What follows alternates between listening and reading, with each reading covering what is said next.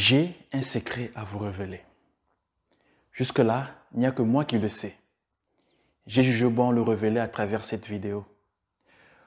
Au fait, il y a de cela quelques jours, je suis allé à l'hôpital pour des analyses généraux.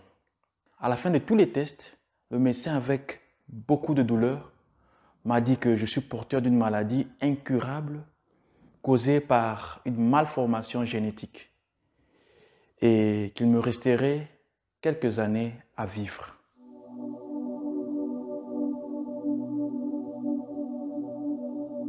J'imagine qu'est-ce que vous pensez ou ressentez.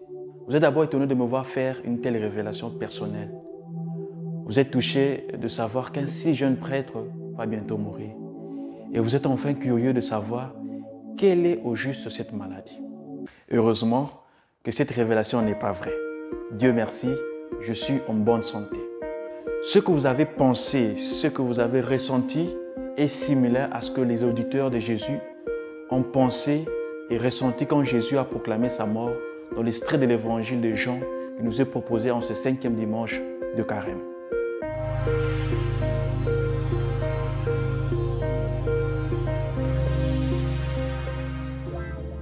À compter de ce dimanche, il nous reste deux jours pour célébrer la mort et la résurrection de Jésus, la Pâque.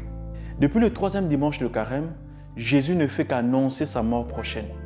Ses disciples sont peut-être habitués à ce genre de discours. Mais particulièrement aujourd'hui, il s'adresse à une foule mixte venue à Jérusalem pour fêter la Pâque juive.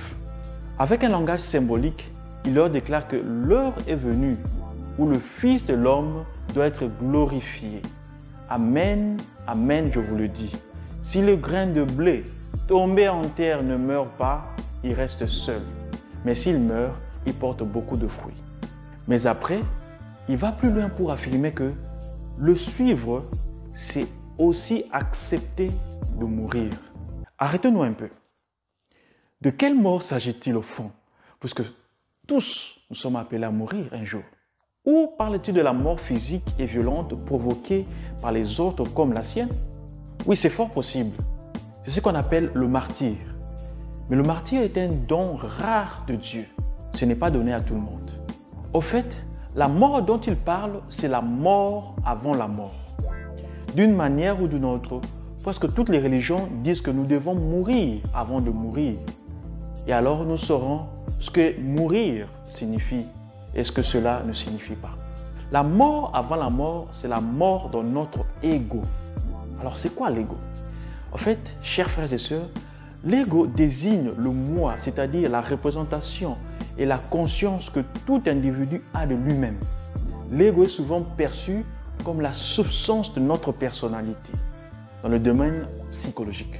Mais dans le domaine spirituel, l'ego est plutôt vu comme ce qui nous empêche d'atteindre une forme de vérité ou de profondeur en nous.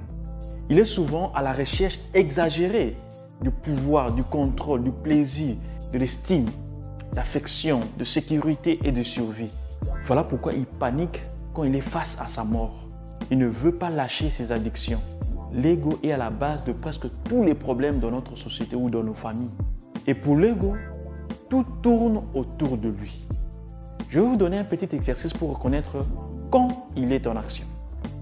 Essayez de vous rappeler le nombre de fois que vous avez dit je depuis ce matin. La quantité de fois est déjà un indicateur de son influence. Sœurs et frères, la suite du Christ nous invite à éliminer l'influence de ego en nous.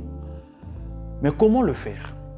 La deuxième lecture, Hébreux 5, 7 à 9, nous donne une clé, l'obéissance.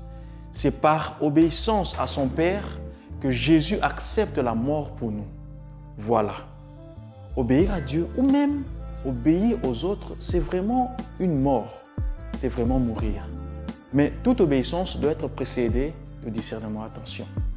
Donc, en mourant avant la mort, nous serons capables de nous connecter avec notre identité profonde, avec le centre de notre être, où la loi divine comme le dit la prophétie de Jérémie dans la première lecture, Jérémie 31, où la loi divine est inscrite.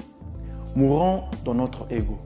C'est alors que, comme ce grain de blé qui tombe en terre, meurt et germe, nous ressusciterons des cendres de notre ego, et porterons des fruits inimaginables. Avant de mourir, mourons d'abord. Bon dimanche à tous.